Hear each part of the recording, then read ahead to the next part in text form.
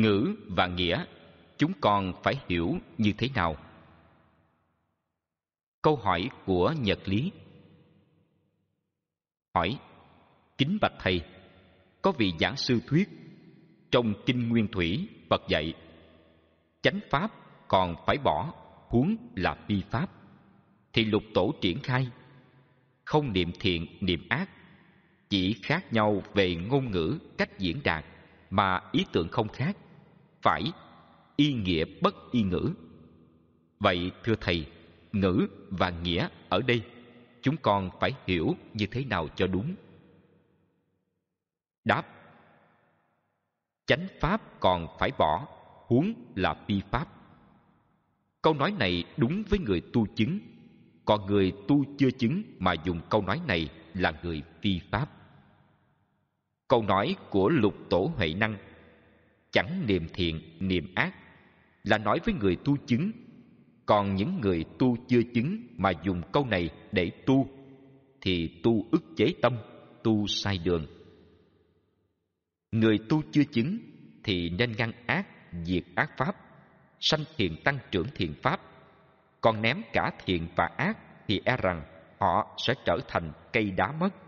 Và họ đã quên rằng họ là người đang tu mà bỏ luôn chánh pháp thì họ lấy cái gì để tu?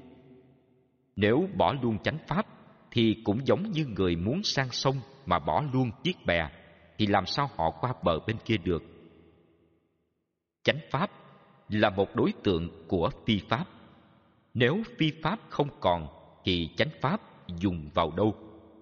Dù muốn để chánh pháp cũng phải bỏ. Nếu phi pháp có, thì chánh pháp là đối thủ của nó còn phi pháp không? Thì chánh pháp là sự sống của con người, chứ cần gì phải bỏ, phải lấy. Câu nói này là câu nói thừa của những người tu chưa giải thoát. Chánh pháp còn phải bỏ, huống là phi pháp. Ngược lại, câu nói này của đức phật khuyên nhắc chúng ta tránh xa những phi pháp. Còn câu chẳng niệm thiện, niệm ác của lục tổ huệ năng là câu công án.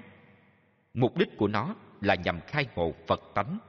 Có nghĩa là câu này giúp cho hành giả nhận ra ý thức không niệm, chứ không phải để tu. Người sao không hiểu lấy câu này làm chỗ tu, nên tu sai.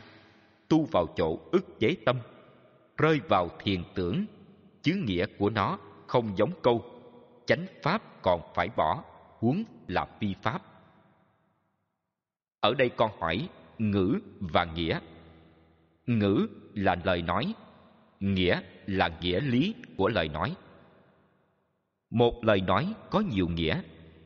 Trong nho giáo dạy, nhất tự lục nghĩa. Một chữ có sáu nghĩa. Vậy con hiểu nghĩa nào mà dám bảo? Y nghĩa bất y ngữ. Cho nên con đã hiểu sai nghĩa của hai câu này khi áp dụng vào đời sống tu hành. Hai câu này là hai câu hí luận chứ không thực tế cho sự tu hành của các con.